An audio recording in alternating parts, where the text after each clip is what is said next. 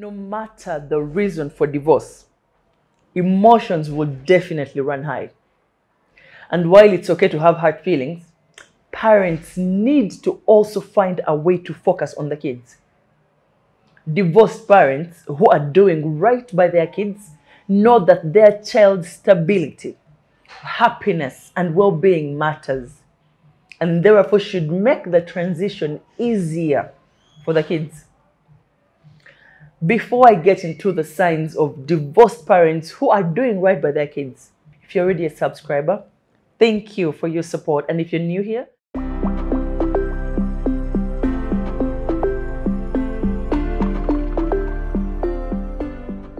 My name is Sharifah Namusisi. I'm a marriage counselor, life coach, and CBT therapist at Let's Fix It Individual and Couples Counseling. I'm all about creating pathways for better marriages and personal growth. So don't forget to subscribe and turn on your notification button so you do not miss a thing. Now, look, when a divorce has been amicable or parents agree to get along for the sake of the children, the awkwardness that is inevitable when kids live in two homes can go reasonably well. But when the divorce was caused by abuse, betrayal, or constant conflict, navigating any contact or decision making that involves the kids can become the grounds for another round of fighting. Sadly, it's often the children who suffer the most from the unresolved issues between their parents. Their parents' anger, even hatred toward each other spills over onto them even some of the best intentioned parents can inadvertently pull on their kids to be allies in their ongoing conflict with the other parent. Each parent attempts to get their kids on their side as a way to justify the divorce. Now, the number one sign that divorced parents aren't doing right by their kids is putting children in the middle of you and your ex's conflict. Yet this is not where they need to be.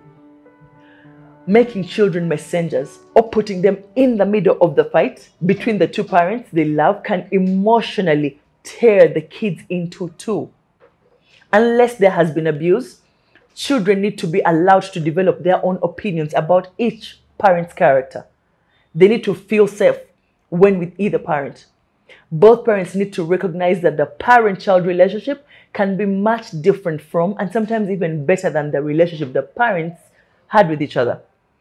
Please always remember that what happens now impacts them for a lifetime. Your parenting is powerful. It determines how your children approach life, the type of relationships they will have with others, and even how they will parent years from now, passing down generational values. Your children pick up on your daily habits, from how you take care of yourself to the way you listen and respond to their needs, and even how you interact with others. They are watching you like a hawk and learning how to be independent through every move you make. If you're currently experiencing discord with your ex and your children are caught in the middle, then I ask you to listen very carefully. Here is what happens when children are put in the middle. Number one, they think all relationships are conflictual. What you model through your parenting style becomes your children's perspective on how they view their own personal relationships. For instance, if you show your children that it's okay to experience conflict and talk through it peacefully, then they will identify this to be a normal interaction in a relationship. On the contrary, if you have volatile screaming matches with your ex in front of the children, they will assume it is okay to raise their voices to others. Your children are more likely to adopt this aggressive style of communication when approaching conflict, or they may become completely uncomfortable around conflict and shut down, avoiding it altogether. This will often result in into your children struggling to having healthy adult relationships as they mimic everything you do. They'll find themselves in toxic relationship patterns that do not evolve unless they restructure their belief systems. Your choice of words impacts whether or not your children will develop healthy relationship skills years to come. One's parenting style affects how they view relationships as a whole. And given our relationships are the very core to how we make friends, how we find love, it is the most fundamental skill you can teach your children right from home. If your divorce was bitter, do your very best to resist the urge to drag the kids in your battles. Don't indulge in the common tactics that parents who are hurt and angry can fall into. They do hurt the kids. they do nothing to resolve your fight with your ex. Ultimately, they keep you stuck in a contentious relationship with your ex instead of freeing you to move on. One of the tactics is called pumping. You know, a parent pumps the kids for information about their other parent's life to collect ammunition for another round of accusations. After every visit or phone call, then, I mean, I get it. Curiosity is only natural. And frankly, some kids may be all happy to share some information with you, but it's not information you need. It's none of your business. Parents who insist that the kids share what they know about how money is being used or how the other parent is spending time looking for something new to dislike. If there is a new romance, the parent insists on learning as much as possible about it. The kids want to please the inquisitor, if only to just stop the relentless questioning. But they don't want to, you know, tattle on their other parents. It's an awful bind. Olabo mwana position jobo mutaddemu. Aha. Uh-huh. soko ndiremu anti mariam story ki yine dadi babeera bakola hey man come on guys let's be guided these are just kids if you wanted to be in the loop of what your partner does tewandinobye another tactic bitterly divorced parents use is poisoning the parent misses no opportunity to tell the kids how awful the other parent was and is they may remind the kids of past and difficult history. They may make sarcastic remarks about the other parent's values and morals. They may inappropriately share legal difficulties they are having with the other parent. The parent hopes to ensure the children's loyalty by making the other side look as bad as possible. Hmm? The other tactic bitterly divorced parents like to use is privileging. One parent attempts to win the kids' alliance by giving them privileges or relaxing basic rules just to make life harder for the other parent. He or she buys the kids things they want or takes them on vacations or outings the other parent cannot afford. Alternatively, he or she lets the kids get away with not doing chores or homework or lets them play video games all night and doesn't ever discipline them. when the other parent tries to get the kids to behave, the kids, you know, being kids, are bound to say, ah, mom or dad doesn't want me to do that. Why should I have to do it here? You know, the children then think that the parent who is being the more responsible parent is the bad guy. And then there is passing messages yeah, or tweaking your parent time schedule through the kids. But using them to adjust your parenting time schedule, you know, on the fly puts your kids in the middle and forces them to be the recipients of your ex's response. So the next time you find yourself saying, uh, let your mom know that I'll pick you up at 5.30 or did you tell your dad that Friday doesn't work? Stop and pick up the phone. Call your ex directly or at the very least, send a quick text instead. The disadvantaged divorced parents who can't stand to talk to each other face from using kids to pass information back and forth is some children often don't remember accurately or avoid conflict by forgetting to mention it. They may learn they can manipulate their parents by skewing the message. The parents then blame and accuse each other for bad communication. Worse, the kids often get the brunt of parental upset when the parent doesn't like the message. Finally, another way divorced parents frequently put kids in the middle is by intentionally choosing whatever options are least convenient for one another. This is just another way of stirring up trouble with your ex. And there is often no reason for it. I mean, it's uncalled for. Remember, too, that it doesn't cost you anything to choose options that work for your ex. And sometimes, when you model what it looks like to treat one another with respect and general courtesy, the same manner gets returned to you.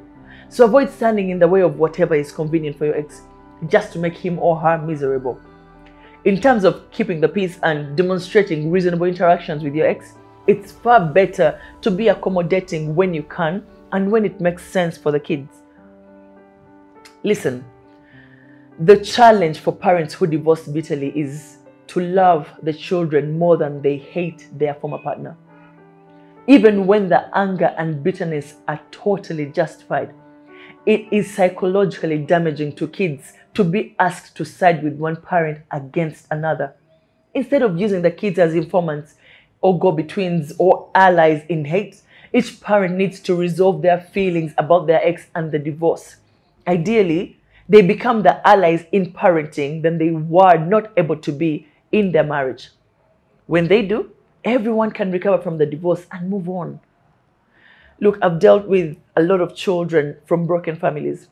And let me tell you what these kids want from their mom and dad during a divorce. One, they need both of you to stay involved in their lives. Please call, check in, text. When you don't stay involved, they feel like they're not important and that you don't really love them. Two, please stop fighting and work hard to get along with each other. Try to agree on matters related to the kids. When you fight about the kids, they think they did something wrong and it makes them feel guilty. Three, these kids want to love you both and enjoy the time they spend with each one of you. Please support them and the time that they spend with each of you. If you act jealous or upset, they feel like they need to take sides and love one parent more than the other. Another important message these kids wish you knew is to please communicate directly with each other so that they don't have to send messages back and forth between you. And finally, when talking about the other parent, please say only kind things or don't say anything at all. When you say mean and kind things about the other parent, the kids feel like you're expecting them to take your side. These kids want you to remember that they want both of you in their life. They want to be able to count on both mom and dad to raise them, teach them what's important, and to help when they have problems. Parents who do right by their kids after divorce will be able to deal with their emotions in a healthy, productive manner. I have a few don'ts for my dear divorced parents.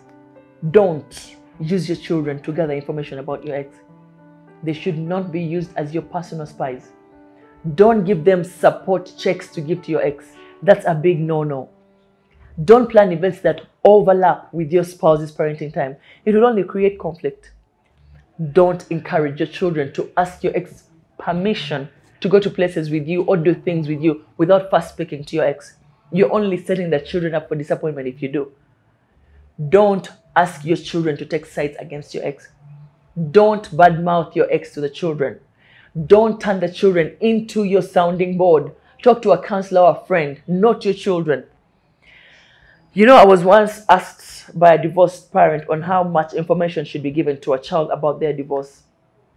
And um, I feel like you'll need to pick and choose how much to tell your children. Think carefully about how certain information will affect them. Number two, you need to be age aware.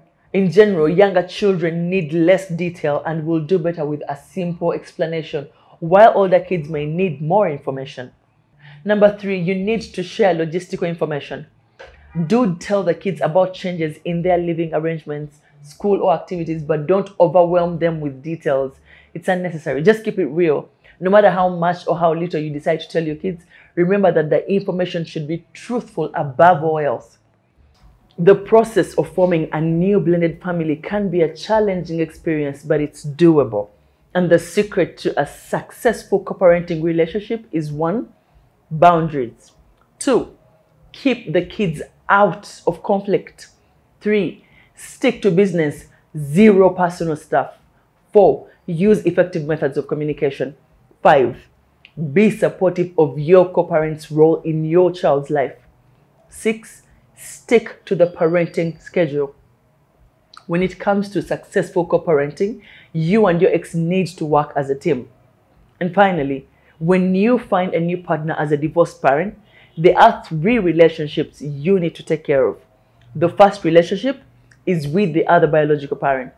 Although they may not be your partner anymore, you still have a relationship with them and a responsibility to consider them in parenting decisions in order to have a smooth transition into co parenting in your new relationship.